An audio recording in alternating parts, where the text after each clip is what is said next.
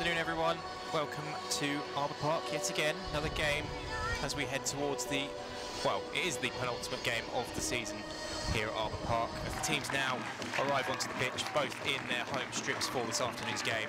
I'll start with the Rebels then. In goal is Dan Lincoln, uh, shortly followed by Josh Chapman, the captain, of course.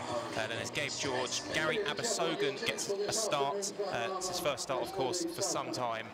Uh, Matt Lynch, Nathan Minhas, Johnny Goddard, Leon Chambers Perillon gets a start after a couple of excellent performances off the bench lately. Uh, Scott Davis, Temi Aweka and David Ogbonna on the bench is Joe Dandy, Jamal Prosper, Will Bailey, Trey Kirkapia and Ryan North. For the away side then, the Saints, uh, two changes to their last 11, which saw them lose 1-0 at home to Braintree. Uh, in goal for them is Michael Johnson, uh, Jack James, Dan Bowery, uh, Gio Rasulo, Sean Jeffers, the, uh, the 25 goal man this season. He's second top goal scorer, but he's got some way to go if he's going to catch Ollie Pearce, of course.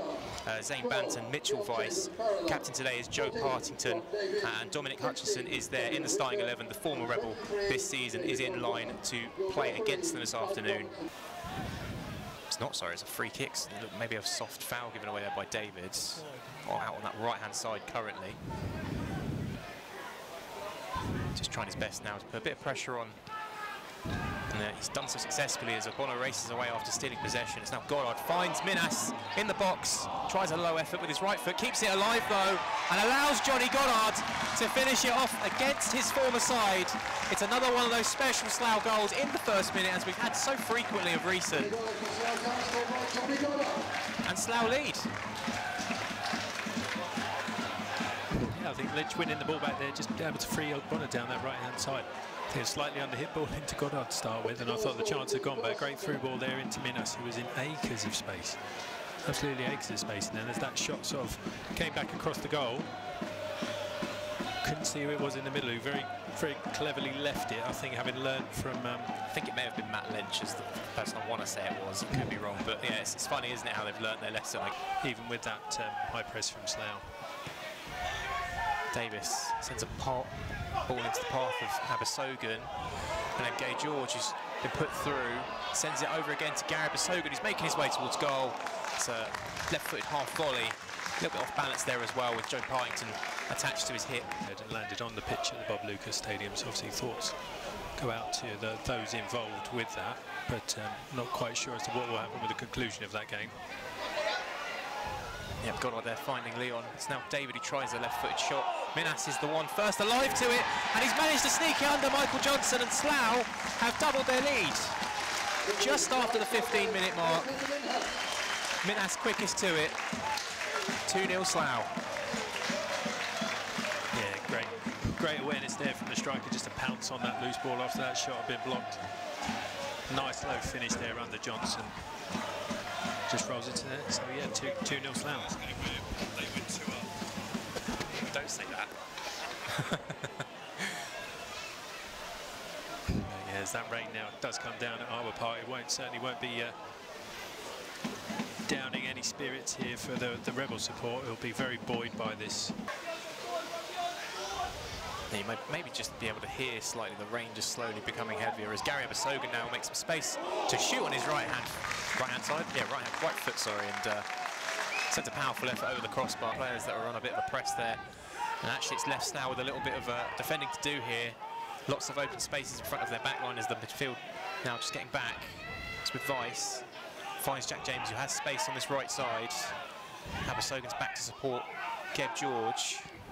It's put in by Banton, it's flicked on by Dominic Hutchinson and it's sent over the bar. Taken short and quick there by the away side. It's now Banton driving forward. He's got James to his right-hand side with some space. Going to put a low ball in towards the six-yard area. Scott Davis couldn't there cut it out at all and it's been sent over the bar. Although it looks like it may have taken a deflection as the referee has given a corner kick. Finds Banton in some space in the middle of the centre circle looks to the left-hand side for Weiss. He's got Francis Clark on the overlap, but he opts to go through the middle to Rasulo, who finds Francis Clark, who continued his run. He finds Jeffers in a bit of space, and Aweka does really well to get across. Has a, an accidental fake kick up the field there from Gary Abasogan. Just actually causes a problem for himself. He actually ends up giving away a free kick there, Gary Abasogan.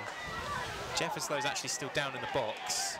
I think Aweka's also felt something too as he tried to make that. Um, takes it short instead to Abasogan. Oh, nice bit of footwork there from Abasogan. Finds Lench. Still out on this left-hand side. It's that's that's an astonishing bit of uh, footwork there from Bonner to try even to even have the audacity to try and. Yep, Lench to send it in more into the central area. It's headed, I think, there by Aweka towards goal.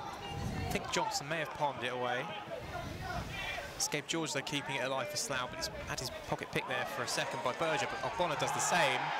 It's a bit of a knock there on Ogbonna right on the edge of the box by Weiss, but I don't think, again, there was enough there for a clear claim at a penalty, but some loose passing again from St Albans. Banton goes down, no foul given, and there's a break on now for the away team. It's up to Mitchell Weiss. They've got numbers here, St Albans. It's laid back, and it's not quite accurate enough to reach a man in blue, cut out by Gabe George. And Abasoga now fighting away to cause a, a break for Slough itself. As Minhas there leaves Gary Abasogan, who lays it across the box to David Ogbonna, and it's a great save in the end by Michael Johnson.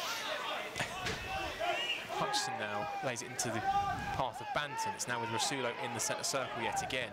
It's being allowed a little bit more space than before though, and there's more space on this left-hand side. It's a great ball in into the six-yard area, which has been cut out by Dan Lincoln. Just flicks the ball up the line towards Abasogan again, just tries to get it under control. Just looking around for that next pass, lays a through ball into Minhas, who is on side, just down the far side of that box. Looks to play one across, but is well blocked. Is now Chambers brilliant down by the corner flag. Moves it onto his right foot, swings a high looping one in towards. He tries the volley. He's ambitious there from the fullback. Hutchinson to Banton. Does enough to squeeze it through to Berger, who reaches the ball before Goddard. It's now Blackman who sends one in. It's a great cross in, and it's just left Dan Lincoln unsighted, and it slipped through. I'm not sure if he did get a touch in the end there, Mitchell Weiss, but uh, it is 2-1.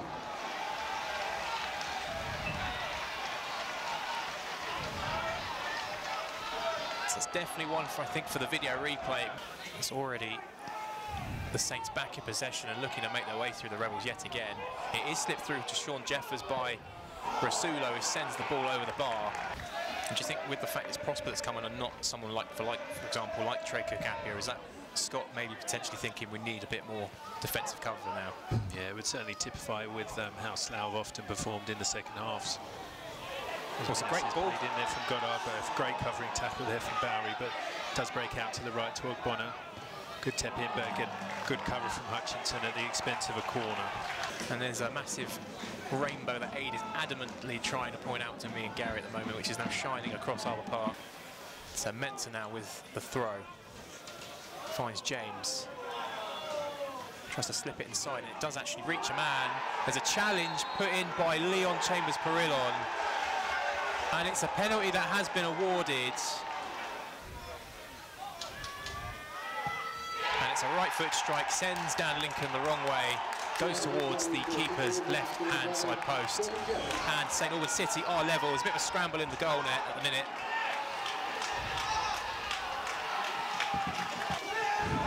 Again, but he's just done too much here. It's allowed space and a chance perhaps to shoot, but it's blocked again by Prosper. He makes up for it. And now there's a break again on for Slough. It's up towards Matt Lench. He's got Trey Cook-Appiah and Ogbonna. Needs more support there on this left-hand side if he can. Cuts inside on his right foot. Lench strikes towards goal. It's an excellent save by Johnson down again. Smart backheel though by Ogbonna. Trey Cook-Appiah then gets a shot away. Davis now heads away. Header for Blackman to send it back Slough's way. Will Prosper try and keep this in play? He does. He hooks it up field along that right-hand side. Flicked on by Leon, who sends in Matt Lynch in towards goal. Johnson will come across. It's laid back across. And Trey Cook-Appiah has managed to send it wide somehow. All of the Slough players fall to the floor. Well, not all of them, most of them, but still. And while that's happening, St Albans have tried to keep playing and the referee does blow for full time as Temi Aweka continues just to lay on the floor. Scott Davis is on his on his bottom. He's just inside the centre circle there. Unbelievably frustrated at Trey Cook-Appiah miss we've just seen. Oh, that was a, a, a bit of a quick two minutes there.